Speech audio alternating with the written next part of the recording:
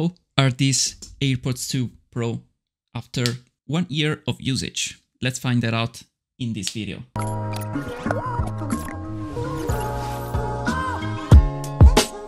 Hey, what's up? It's always me, Johnny, and welcome to my new video. Today, as you could see from the intro, we're gonna talk about the AirPods Pro second generation. This is a long-term review, so this is almost after one year because I just received this as a gift uh, last year in the Christmas time, so it is almost one year. I know that somebody talked about already the newest AirPods 3 coming with the display, coming with other new features, but uh, I guess this will never happen, especially the display, because why adding a display on this uh, headphones because if you just use them they don't need a display for using these headphones in any way because you have all the controls in your AirPods and for everything that you cannot do here you can do it on your phone that you will have probably at a minimum distance of few meters. So why adding a display? And also this will not be Apple style. I mean they will choose for sure a more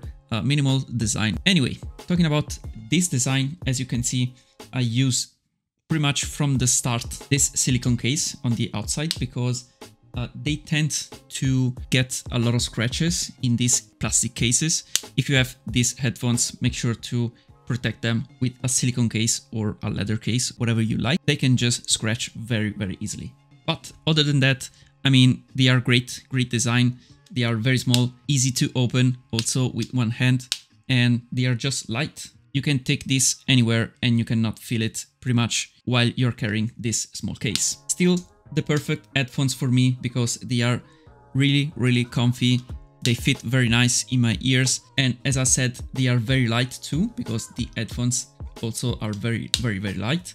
And if they are comfy enough for you, you will not feel these headphones on you and sometimes you maybe may even forget to have those headphones. Plus, they have different size for the plastic tip right here, so the ear tip. There are like four sizes, so pretty much for every ear. I mean, for somebody they will not fit like perfectly, but still they are one of the best that you can find on the market that will fit better in your ear. Sound quality is great. I mean, I tried better headphones with better sound quality, but they are uh, over ear headphones and they are much bigger. They have more power and as I said, better quality, but as I said, they are over ear. So they are bigger, they are heavier, and most of the time, I mean, they are also more expensive. As I was saying, the quality is good and plus some feature they give an advantage on most of the other headphones. Like for example the spatial audio that you can enable on this AirPods 2 and more other smart feature that we will talk about later. Anyway, these are very very smart headphones and with the time they've received a lot of updates especially with iOS 17 like the adaptive sound.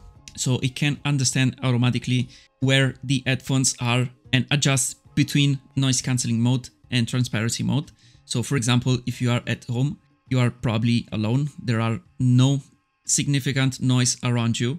It can use noise cancelling mode because you don't need to hear what's around you.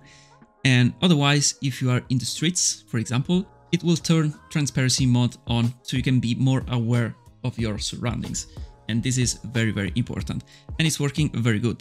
So we just go into settings, we select my AirPod, you just wear the headphones and then you can select adaptive mode. Very, very easy. Also, you can control this setting here on press and hold on AirPods because as you can see, if you press the left stem or the right stem, you can just customize your controls and you can enable maybe adaptive mode. I have only transparency and noise cancellation mode at the moment for both of the headphones because I don't need more features. And for example, I will talk about more this uh, adaptive mode and also the ability of these headphones to detect external noises. For example, when I'm walking in the streets with music on, I can hear perfectly a car from a hundred of meters thanks to these smart features and you can hear really perfectly where it will come from by just a combination of lowering a bit your music and also by increasing the volume of the car noise. Just trust me, this feature is really, really great.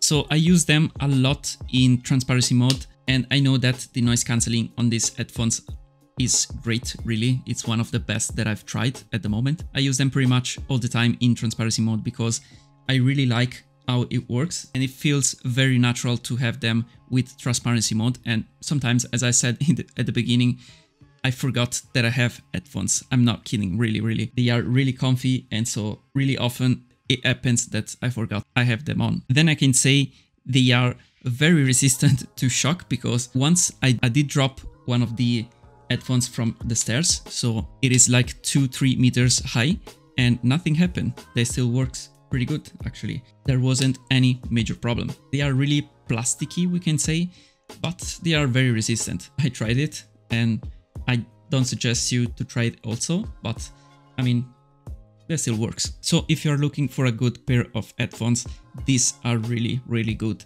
indeed. A little bit expensive, yes, but now you can find them at a, at a very good price, especially in this time of the year.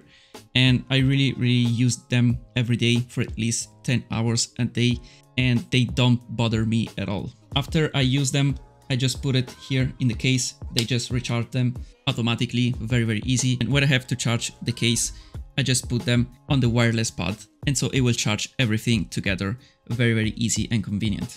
So this video was a little update and experience on my long-term review on this AirPods Pro second generation. If you have any question, just write me down below in the comments so I will be happy to answer to them. Also, let me know if you had any problem, any issues with this AirPods Pro 2, if you have one and if you are planning to buy one of those, just let me know it. I can give you some tips and tricks to use those. So for the video, that's pretty much it. Just hit a like button down below if you did like it and also subscribe to the channel if you haven't already. As always, thank you for watching my video and I will see you in my next one. Bye for now.